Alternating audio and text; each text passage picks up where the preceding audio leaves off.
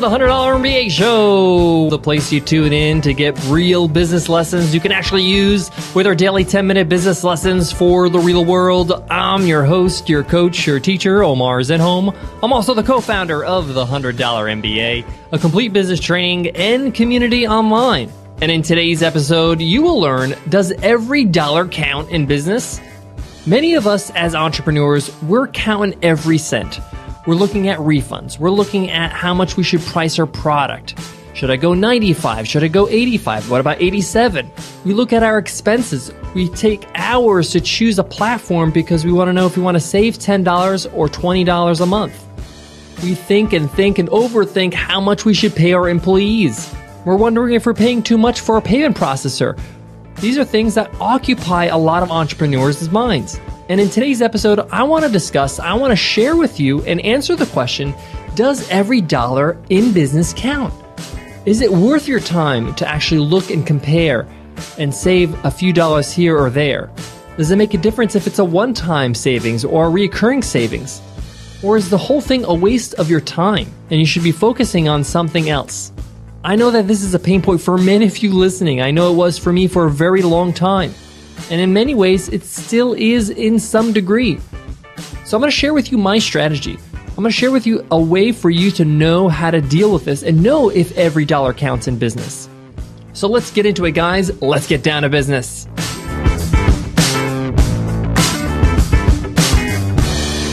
Today's episode of the $100 MBA Show is sponsored by Queensboro.com. For over 33 years, savvy entrepreneurs have trusted Queensboro.com for custom logo apparel. And guess what, $100 MBA listeners? If you go to queensboro.com slash MBA, you'll receive 30% off your first order. Plus, you'll get a free logo setup, free shipping, and it's all guaranteed. Whether you're ordering custom t shirts, caps, bags, they guarantee a great quality, a great fit, and guarantee the whole order is perfect. And it's all backed by stellar customer service. So go to queensboro.com slash MBA and receive 30% off. All right, guys, let's get into this. Does every dollar count? Now, there are different angles or different aspects we want to talk about when we answer this question. One, there's expenses. Does every dollar count when we actually have to pay for something, whether that's a new software we need to use, paying salaries, or even giving out refunds? These are expenses. And then we have revenue, right? We have how much we actually charge for our products, how much we charge for our services. So I have a very clean and very simple approach to this. When it comes to your expenses, yes, you do need to have a lean approach. Do not buy something, do not use something if you don't need it. This is especially important if it's a reoccurring charge. If it's a one time fee, like a course, let's say, for example, you buy a podcasting course and you have the intention of starting a podcast in the next few months, then maybe that's a good choice because it's a one time fee, it's an investment, you're going to use it. But if it's a reoccurring charge, let's say like a service like video hosting, and you haven't created any videos to host yet, then you really should be buying that. You shouldn't be paying for hosting every single month for videos you are not hosting. So that's pretty clean cut.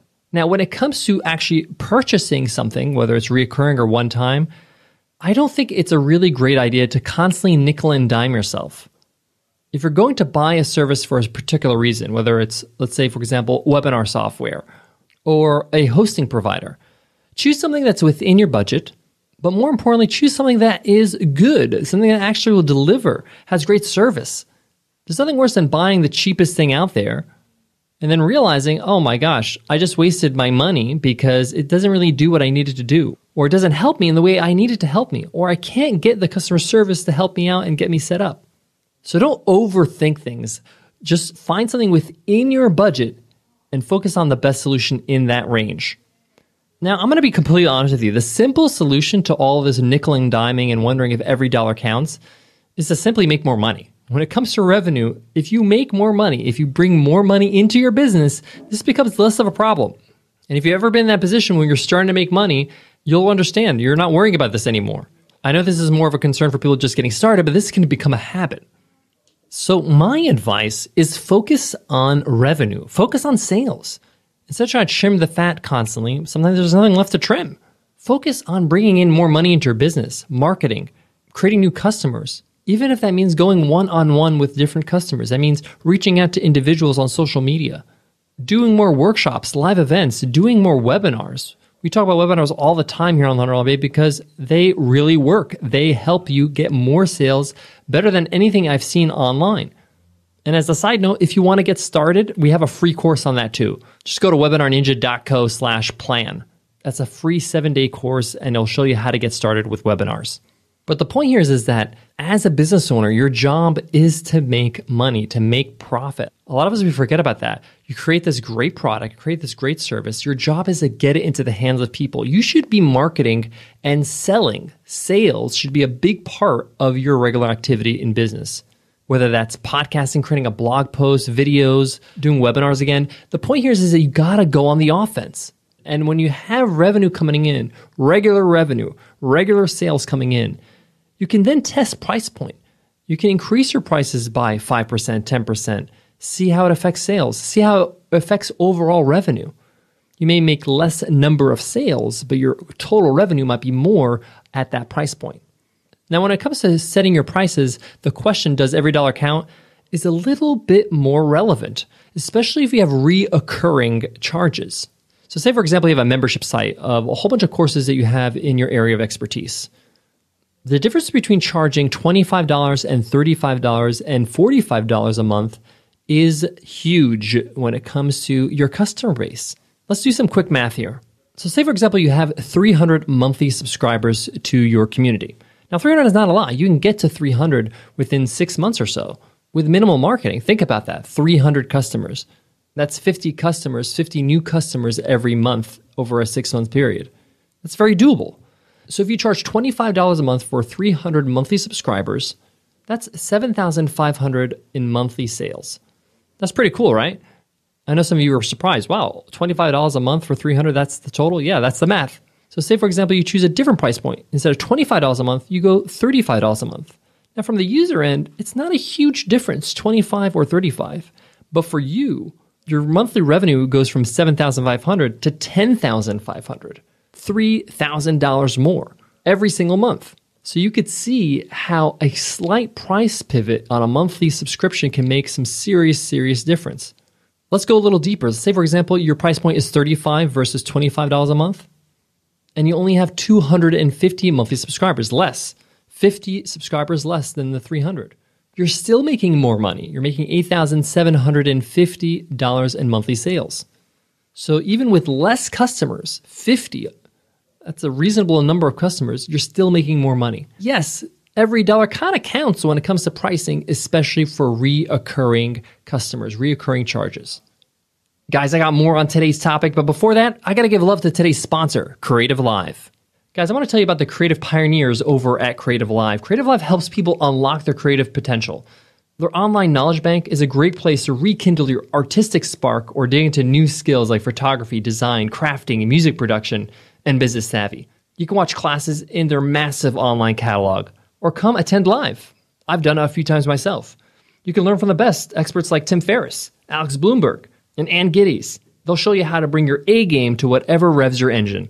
Just go to creativelive.com slash MBA and you'll get 20% off any of Creative Live's classes. So go ahead, thrill yourself, join a vibrant community of creators today at creativelive.com slash MBA. All right, guys, I want to wrap up this lesson into a solid game plan. When it comes to expenses, find out the tools that you need and what you're going to be using immediately. Find the best tools within your budget and go for it. Don't think about it too much. Don't dwell on it. Most of these products have great return policies 30 day, 60 day money back guarantees. So you can try them out. And if they're not right for you, you can change them up. Don't spend so much time dwelling on a few bucks here or there. But when it comes to revenue, focus on getting more sales. Make it your mission every single day to get new customers, whether they're joining your mailing list or your free course so they can eventually become customers, or actually making a sale live, in person, or on a webinar. But don't let it waste so much time. Dedicate some time to make some choices. So, if you're saying, hey, I want to choose a new um, course platform to host my courses on, I'm going to spend two hours from this time to this time on this day to choose. And within the two hours, I will make a choice and make a purchase. So allot the time and keep it locked. Don't go overboard and decide to make a choice when that time period is up.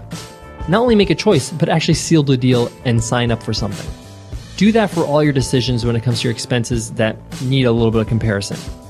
It forces you to focus on production and not consumption. All right, guys, I hope that helps. I hope to see you in tomorrow's episode where we talk about when do you need to stop planning? When you start building a business, when you start launching a product, you're in that planning phase. Where's that point where we just stop planning and start doing? We talk about it in tomorrow's episode, so stay tuned for that. I'll see you then, guys. Take care.